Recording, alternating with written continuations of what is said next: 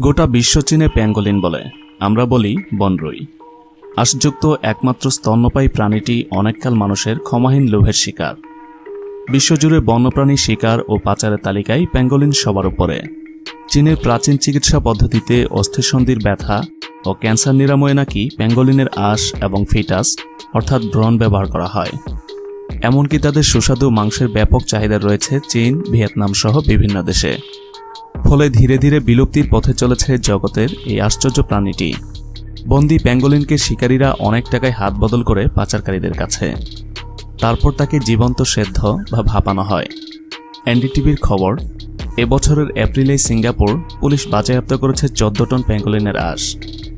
Shipping কন্টেনারে ভরে লুকিয়ে সেগুলোকে নাইজেরিয়া থেকে ভিয়েতনামে নিয়ে আসা হচ্ছিল, যার আনুমানিক বাজার মূল্য তিনশো নব্বই লক্ষ মার্কিন ডলার। পৃথিবীতে সাত প্রজাতির বনরুই রয়েছে। তার মধ্যে এশিয়ায় আছে তিন প্রজাতি, আর এই তিনটি বাংলাদেশে পাওয়া যায়। এরা প্রধানত চিরসবুজ ও আধা চিরসবুজ বনে বাস করে। দেশি ছাড়া অন্য দুটি প্রজাতি সব জায়গায় দেখা যায় না। চীনা প্রজাতিটি চট্টগ্রাম, পার্বত্য চট্টগ্রাম ও সিলেট এবং মালয় বনরুই শুধু সিলেটের বন জঙ্গলে বাস করে। অত্যন্ত লাজুক ও নিশাচর বলে এদেশে পর্যাপ্ত সংখ্যায় থাকা সত্ত্বেও প্রকৃতিতে বনরুয়ে দেখা পাওয়া ভাগ্যের ব্যাপার। বাংলাদেশের স্তন্যপায়ী প্রাণীদের মধ্যে দেশি বনরুই দীর্ঘ ও সরুদেহের একটি প্রাণী। মাথা থেকে একেবারে লেজ পর্যন্ত বড় বড় শক্ত, পুরু আর ধারালো আঁশ থাকলেও এর কোনো দাঁত নেই। বনরুই ওজনে দুই থেকে নয় কেজি পর্যন্ত হয়ে থাকে। তিন প্রজাতির বনরুইয়ের মধ্যে আকারে দেশিগুলোই বড়। লেজ বাদে প্রায় ছেষট্টি সেন্টিমিটার লম্বা হয়। লেজটি হয় প্রায় বিশ সেন্টিমিটার। চীনা ও মালয়গুলো অপেক্ষাকৃত ছোট ও ছিপছিপে গড়নের হয়। ওজনের দেশি প্রজাতিটি দশ কেজি পর্যন্ত হতে পারে। নাক ও দেহের নিচের দিক ছাড়া বাকি অংশ এগারো থেকে তেরো সারি শক্ত আশে আবৃত থাকে। আশের ফাঁকে ফাঁকে থাকে শক্ত লোম। লোমের পরিমাণ চীনাগুলোতে বেশি থাকে।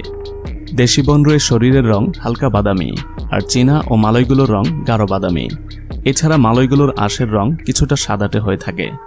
তবে নাক ও আশবিহীন অংশের রং কাঁচা মাংসের মতো লালচে হয়। ঘন আশের কারণে মালয় ছাড়া অন্য দুই প্রজাতির বনরয়ের কোনো দেখা যায় না।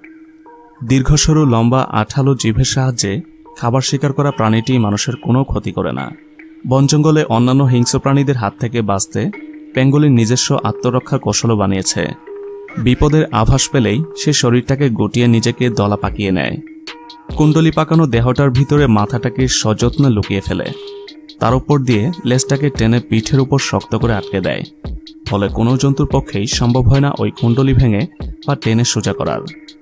পরিস্থিতি বেগতিক হলে কুণ্ডলি পাকানো অবস্থাতেই দ্রুত গড়িয়েও যেতে পারে।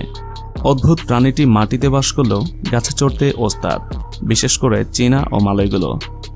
বনরুই যখন কুটো হয়ে তুলতে তুলতে চলে, তখন মনে হয় কোনো জীবাশ্ম বা ফসিল বুঝি জীবিত হয়ে হেঁটে বেড়াচ্ছে। এদের দেহ, বিশেষ করে লেজ, অত্যন্ত নরণক্ষম। সারাদিন গড়তে ঘুমিয়ে কাটায়। রাতে খাবারের খোঁজে বের হয়।